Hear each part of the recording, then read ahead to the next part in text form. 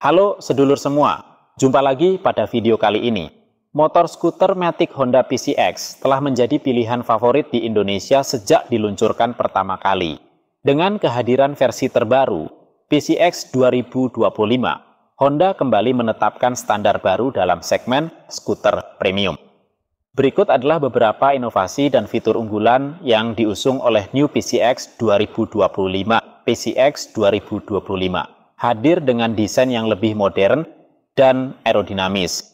Garis-garis tegas dan lekukan yang halus memberikan tampilan yang elegan dan berkelas.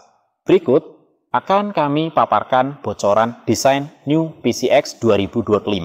Bocoran yang pertama, kode project generasi 2021 hingga sekarang mengusung kode project K1Z.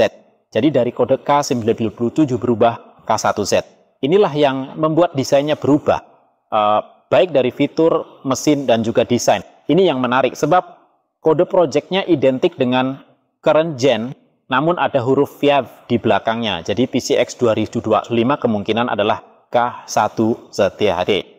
Untuk K1ZV kita duga demikian akan mendapatkan beberapa perombakan. Ini sebenarnya sudah beredar sebelumnya, namun ada indikasi juga pada bagian stang akan berubah desain New PCX 2025 nanti terbuka berubah di area stang. Dikatakan desain taper telanjang pada generasi terbaru nanti bisa saja tidak sama seperti sekarang. Kaus Nadivi ada potensi akan mengadopsi full cover stang seperti Honda Forza, yang artinya desain stang bakal mirip dengan NMAX.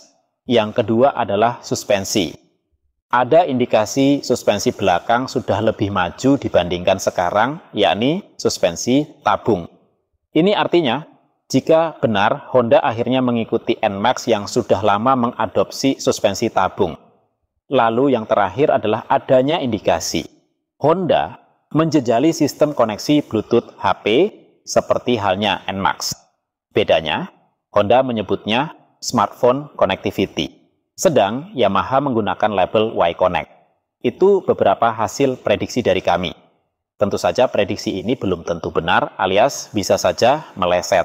Namun yang pasti ada perombakan besar pada sisi depan. Terima kasih sedulur semua atas atensinya. Sampai jumpa pada video selanjutnya.